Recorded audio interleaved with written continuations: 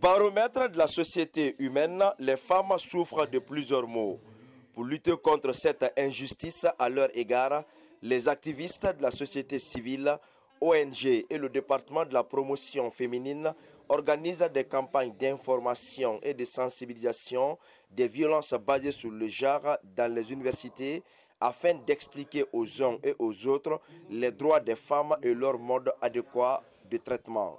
Nous sensibilisons à travers les panels que j'ai dit de façon anticipée, à travers des panels. Nous passons parfois dans les classes pour passer le message. Nous organisons même des formations où nos participants sont à la fois des femmes, des hommes, donc des étudiants et des étudiantes pour dire que puisqu'on a dit violence basée sur le genre, ce n'est pas seulement les femmes. C'est vrai, les femmes, on dit souvent que c'est la couche la plus vulnérable, mais n'empêche qu'il y ait aussi des hommes qui souffrent de violence.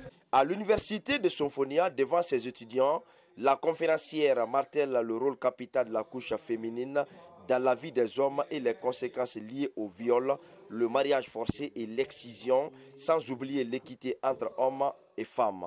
C'était pour moi un réel plaisir de partager ces moments avec les étudiants, de leur définir c'est quoi les VBG d'abord, les formes de violence basées sur le genre, et faire des recommandations allant dans le sens d'éradiquer les violences basées sur le genre dans notre société. Les violences basées sur le genre, nous le dénonçons et pendant cette conférence et en dehors de cette conférence pour contribuer à notre façon à les combattre.